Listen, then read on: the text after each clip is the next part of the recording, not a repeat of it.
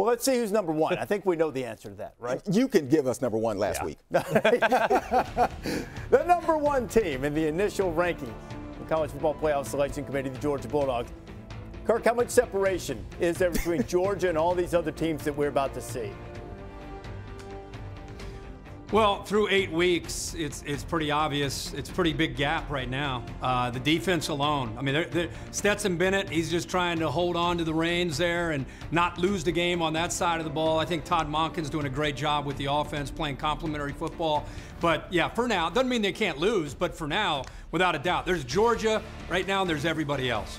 All right, this is the question of week one. What does the committee think? Georgia's easy. Number two's not. Who is number two?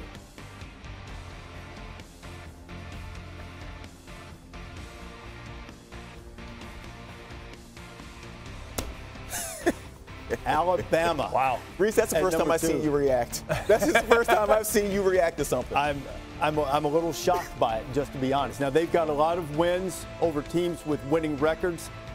Solid win over Ole Miss. And what turns out to be a pretty good win against, against Mississippi State Yeah. as well. The thing is, for everybody who's going to get all up in arms about this, as you look ahead, this is going to take care of itself. Alabama will either lose and not get to the SEC championship game to play Georgia, or they'll get there and lose, Exactly. or they'll win out and they'll be in. Rece, but, but but having them at It number does. two It- though, having them at number two, if they win out, that still opens the door to the possibility of them not falling outside of the top four with a close loss to Georgia. I- it no, opens no, the door. don't way. so. Two losses, it won't happen. Are you Nope. not surprised? Nope. I mean, let's right everybody now? else. Nope. Yes, I'm surprised. Okay, so because we're talking about an Alabama team, which I have a ton of respect for. When we talked about this earlier, they've shown cracks, and they've shown cracks twice. Texas A&M, second half of Florida, they've shown cracks that surprised Okay, me. Herbie, hold your thought of being told we need to see three right now. Who's number three? Michigan State. Those two teams met in the playoff once before in 2015. Kirk, Alabama, Michigan State, 2 3. What do you think? It doesn't matter where the heck Alabama is. Rece, you, you set the table there. If they went out and they beat Georgia, they're in. If they lose to Georgia, they're out. So for fans that are looking at the two teams from the SEC and you're panicking, don't. Uh, the, the reason you should panic, it'd be the same reason if Alabama were at five or four or three. If they beat Bama, they're both in. So no matter what happens, uh, it still comes down to that game in Atlanta. Michigan State, you guys just said they could be up at two, may definitely in the top four, and uh, without beating a team with with a, a, winning record, they went out, came back from that big deficit.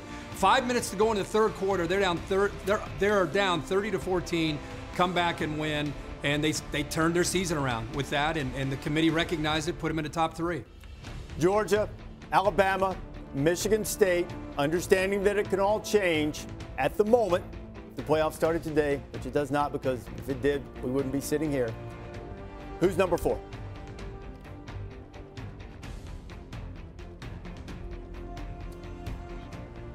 Consistency in this regard, head to head has mattered. Oregon at number four. Yeah, and this further proves the point. Now, the people are probably going to be alarmed by the fact that Cincinnati, at this point, on the outside looking in, but this furthers the point that Cincinnati ultimately does not control its own destiny. They're at the mercy of what transpires in the Power Five. No disrespect to Cincinnati, they've done a remarkable job. They've scheduled up, they beat Indiana, they beat Notre Dame. But ultimately, if Oregon wins the rest of their games and wins the Pac 12, they're going to make the college football playoff. Same can be said for Michigan State. Same can be said for Ohio State, which could potentially leave Cincinnati on the outside looking in. So this is, I think, a very solid ranking and appropriate ranking for where the Oregon Ducks stand, considering the win they have against Ohio State. You know, one of the questions people had asked Kirk was how much help does Cincinnati need? And the answer, no matter whether they're five or six, is going to be a significant amount of help. They're going to have to have things fall right. Yeah, they're going to have to have they're going to have to have some help. Uh, it, it's it's interesting uh, that that Oregon is at four. It's such a great debate about head to head and what they did in that game, and then what they did on the back end of that game for, for really three straight weeks. And you, Rece and I, you you and I talked about a lot off the air. You fill out your AP poll, and each week would go by, you were kind of scratching your head like, man Oregon's kind of sliding down and Ohio State's going in a different direction. It's easy to put Ohio State ahead of them. Now, if they didn't have that UCLA win and they followed it up with a dominating win against Colorado, they're not sitting there, even though they could have won those games and not looked good doing it. I think they turned their, their fortunes around in the last two weeks, and that's why they're up at the top four. They need to. The margin of error is gone as it pertains to the playoff. Let's look at number five. See who's in which order Ohio State, Cincinnati. Who's five? It is Ohio State getting the nod over Cincinnati. So the consolation prize for the Bearcats is that when they were revealed right now at number six, that is the highest ranking in the college football playoff era for a team outside the Power Five conferences. Still an entire month of football to play.